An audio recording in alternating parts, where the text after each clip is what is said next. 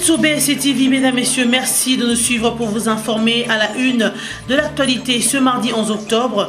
Arrivé depuis lundi à Kinshasa, le vice-président du Conseil d'État de la République de Cuba a été reçu ce mardi par le chef de l'État congolais avant de rencontrer le président de deux chambres du Parlement. Au cours de ces trois entretiens, ils ont passé en revue les relations existantes entre les deux pays.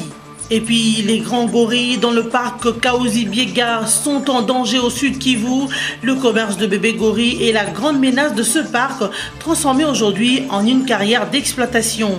Un appel aux actions urgentes est lancé aux autorités congolaises et organismes écologiques pour sécuriser cette espèce de singe qu'on ne retrouve qu'en République démocratique du Congo. Dans le reste du monde, l'Éthiopie accuse l'Égypte d'être à la base des violences qui secouent le pays depuis 25 ans. L'état d'urgence est décrété par le gouvernement d'Addis Abeba, mais l'Égypte garde un silence de marbre face à toutes ces accusations. Souci d'accroître la coopération entre le Cuba et la RDC, le président de la République, Joseph Kabila Kabanga, a reçu ce mardi 11 octobre Salvador Valdés Meza, vice-président cubain qui séjourne à Kinshasa depuis le lundi. Cet échange s'est fait en présence du ministre des Affaires étrangères de la coopération internationale Raymond Chibanda, du directeur de cabinet du président de la République Némi Mouilania, du conseiller principal du chef de l'État au collège politique Mbayo et de la délégation cubaine. Durant une heure, ils ont échangé sur des questions d'intérêt commun pour les deux pays en général. Ils ont aussi abordé des questions politiques internationales et nationales. Vu la situation que traverse la RDC actuellement dans différents secteurs comme la politique, l'éducation, la santé et la culture, cet entretien se veut solidifier la coopération de deux pays dans ce domaine. Le vice-président de Cuba n'a pas manqué de visiter différents monuments pour rendre hommage aux héros nationaux.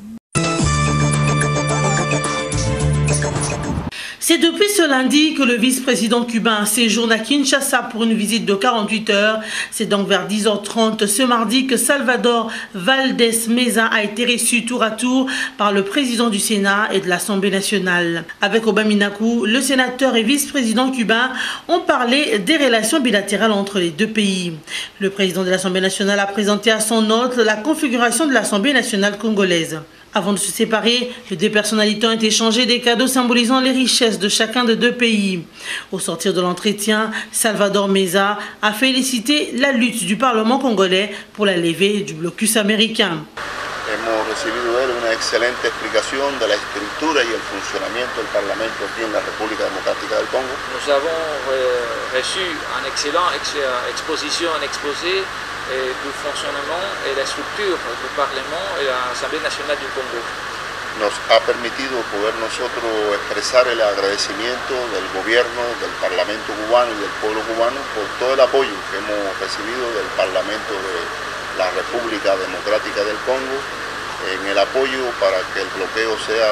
en que en même temps, nous avons exprimé euh, la reconnaissance et la gratitude du peuple, du gouvernement et le parti de Cuba au, Parlement et au gouvernement du Congo pour tous les appuis et les supports qu'on a reçus euh, pendant notre lutte pour la levée définitive du blocus américain contre Cuba. Le vice-président de l'État cubain s'est réjoui de l'attention lui accordée et sa délégation depuis leur arrivée à Kinshasa et d'y croire fermement à la redynamisation des relations entre la RDC et le Cuba. Signalons que Obaminaku a reçu une invitation pour une visite au Parlement cubain. Fausse rumeur faisant état de sa démission, la journée du lundi 10 octobre aura été bien chargée pour Edem Kojo. Le facilitateur au dialogue en RDC a reçu dans ses appartements aux environs de 12 heures une délégation de la SADEC et des ministres des Affaires étrangères de la Tanzanie, du Mozambique ainsi que de l'Angola. Et pendant la soirée, toujours dans le même cadre, Kojo a eu à échanger avec la délégation de l'Église catholique conduite par l'évêque Oscar Cantou, président du comité Justice et Paix international.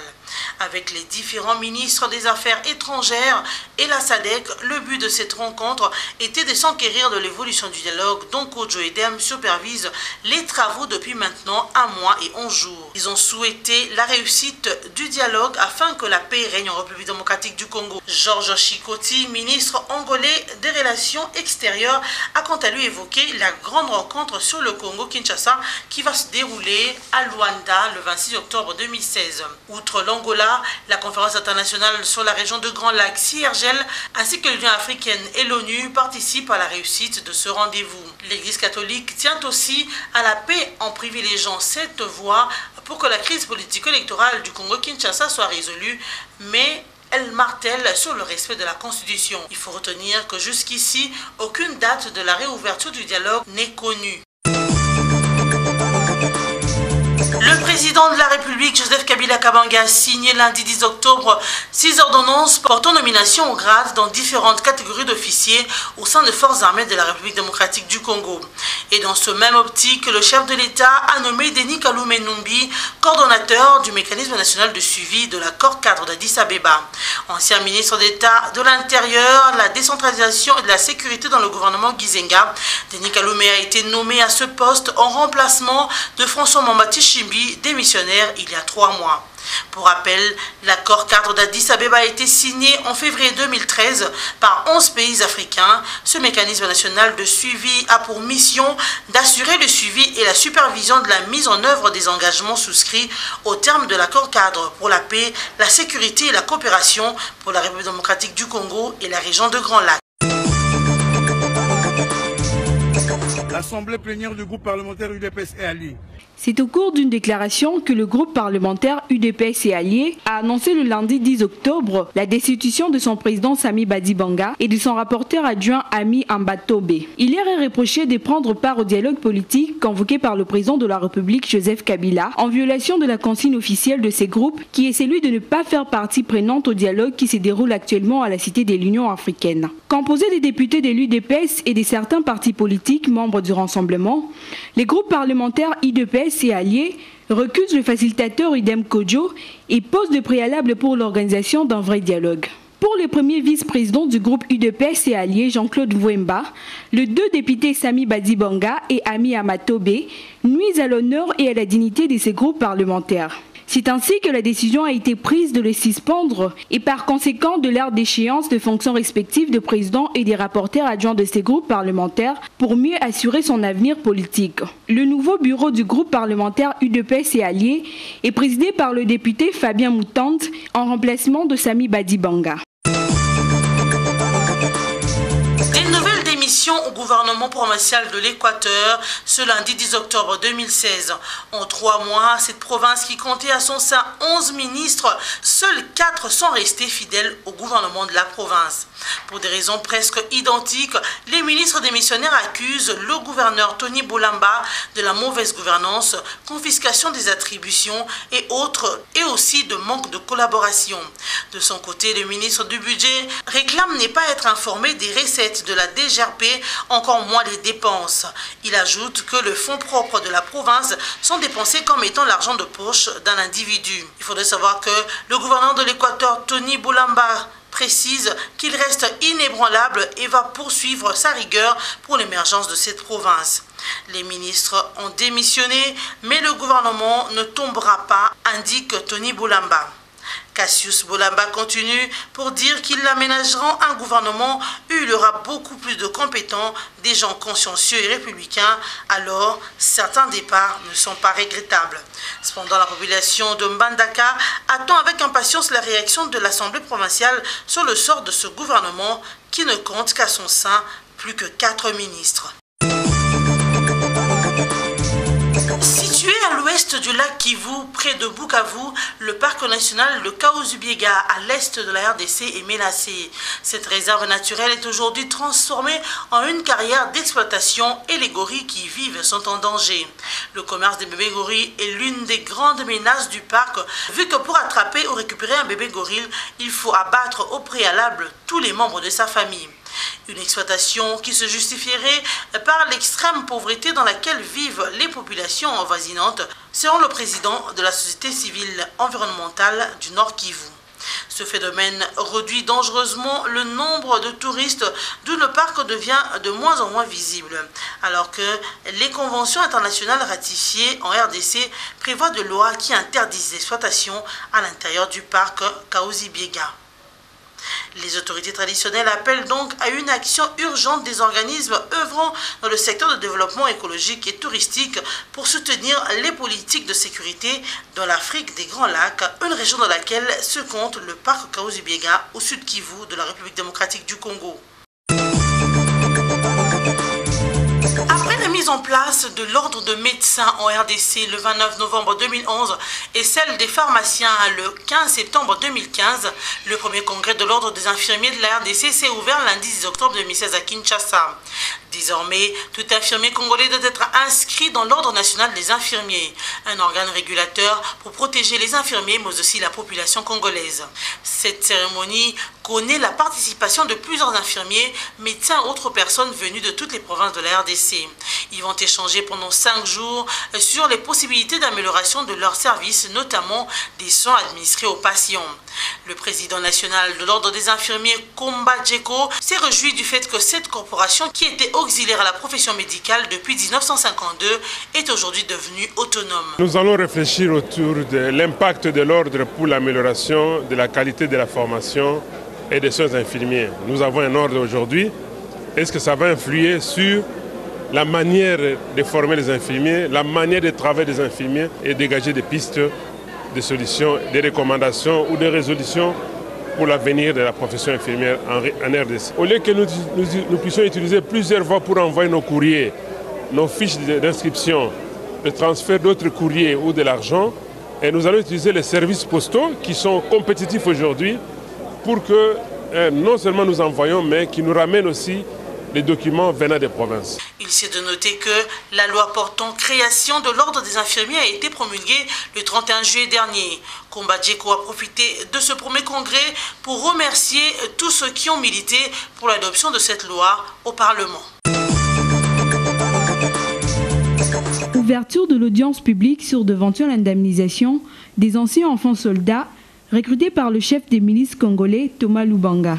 Ce dernier a été déclaré coupable de crimes de guerre consistant à l'enrôlement et la conscription d'enfants de moins de 15 ans et les faire participer activement à des hostilités.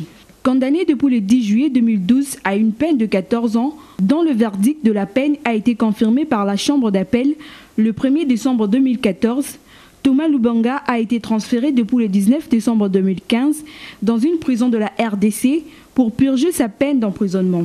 Les audiences du jeudi 13 octobre permettront au juge de la Chambre de première instance de déterminer combien peuvent recevoir en indemnisation les anciens enfants soldats recrutés dans l'Est de la République démocratique du Congo dans les années 2002 et 2003 par Thomas Lubanga. Sachez qu'une somme de 1 million d'euros a été allouée au dossier par le Fonds au profit de victimes. Ces fonds qui reçoivent des cotisations volontaires versées par le gouvernement membre de la CPI d'organisations internationales et des particuliers demandent notamment l'approbation des juges pour ces projets visant à réhabiliter les victimes. Après la condamnation de Thomas Lubanga en 2012 par la CPI des crimes de guerre, voilà qui lui a attribué la charge personnelle de toutes les indemnisations de ces victimes. Il s'est de noter qu'un plan d'action qui vise à réconcilier les victimes avec leurs familles et les communautés affectées et à contribuer à la réintégration efficace des anciens enfants soldats dans la société ainsi, ces audiences permettront au juge d'examiner les types de projets qui doivent être mis en place, à assurer un représentant de la CPI à l'AFP. D'où ces réparations ne seront pas individuelles, mais collectives, a ajouté la même source. La CPI ajoute que c'est la première fois dans son histoire qu'un homme est condamné à indemniser ses victimes. La montée de la manifestation en Afrique du Sud, les étudiants continuent de manifester pour protester contre une décision du gouvernement d'augmenter les frais universitaires. Les étudiants intensifient leur mouvement de protestation.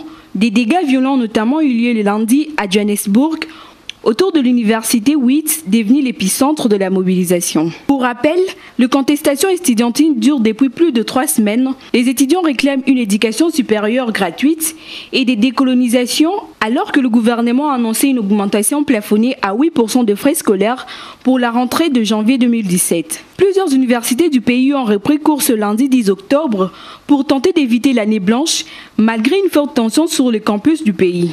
Face à ces violents événements, le ministre d'éducation supérieure sud-africain s'est dit inquiet, d'où il apporte son soutien aux universités et à leur décision de poursuivre le cours. Cependant, la confrontation entre étudiants et forces de l'ordre continue. La police est intervenue pour arrêter les perturbations des étudiants pendant le cours dans les universités de Stellenbosch au sud-ouest et l'université KwaZulu-Natal à l'est. L'université de Cape Town est toujours fermée suite aux violences menées par les étudiants. Encore, Paul Kagame menace de rompre les relations diplomatiques du Rwanda avec la France. Lors de son discours devant le Parlement rwandais à l'occasion de l'ouverture de l'année judiciaire, Paul Kagame a relevé à nouveau l'existence d'une complicité de Paris dans le génocide rwandais. Selon la RFI, les propos du président rwandais font suite à la réouverture la semaine dernière par les juges français de l'enquête sur l'assassinat de Juvenal Abiyarimana le 6 avril 1994. L'attentat de cet ex-président rwandais est considéré comme l'élément déclencheur du génocide de 1994. Et sept proches collaborateurs de Paul Kagame sont mis en cause. Pour ce dernier, c'est la France qui devait être sur le banc des accusés et jugée, mais aucune autre personne à Rwanda. Paul Kagame a tenu à rappeler que le système judiciaire rwandais n'est pas subordonné aux intérêts français. Des manières voilées, le président rwandais a rappelé aux diplomates la rupture diplomatique entre Paris et Kigali. Pour rappel, la France et le Rwanda avaient rompu leurs relations diplomatiques entre 2006 et 2009.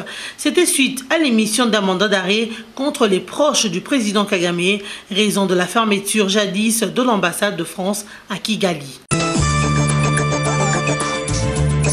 Suite aux violences qui ont occasionné la destruction des bâtiments publics et d'entreprises appartenant aux étrangers en région Oroma la semaine dernière, l'Éthiopie accuse l'Égypte d'être à la base des violences qui secouent le pays depuis près de 25 ans. Addis Abeba pointe le Caire, son voisin, de financer et d'entraîner militairement les mouvements rebelles indépendantistes qui cherchent à déstabiliser le pays. Le président éthiopien Moulalou Teshome qualifie ces groupes d'individus de terroristes comme le Front de libération Oroma, travaillant main dans la main avec les institutions du gouvernement égyptien et qui sont responsables des destructions récentes dans son pays. Du côté gouvernement égyptien, jusque-là, aucune réaction face à toutes ces accusations. Soulignant cependant que le gouvernement éthiopien a décrété dimanche dernier l'état d'urgence pour une durée de six mois. Mesdames, Messieurs, c'est la fin de cette édition d'information. Voici le rappel de titres. Arrivé depuis lundi à Kinshasa, le vice-président du Conseil d'État de la République de Cuba a été reçu ce mardi par le chef de l'État congolais avant de rencontrer le président de deux chambres du Parlement. Au cours de ces trois entretiens, ils ont passé en revue les relations existantes entre les deux pays. Et puis les grands gorilles dans le parc Kaozi Biega sont en danger au sud Kivu. Le commerce de bébés gorilles est la grande menace de ce parc, transformé aujourd'hui en une carrière d'exploitation. Un appel aux actions urgentes est lancé aux autorités congolaises et organismes écologiques pour sécuriser cette espèce de singe qu'on ne retrouve qu'en République démocratique du Congo.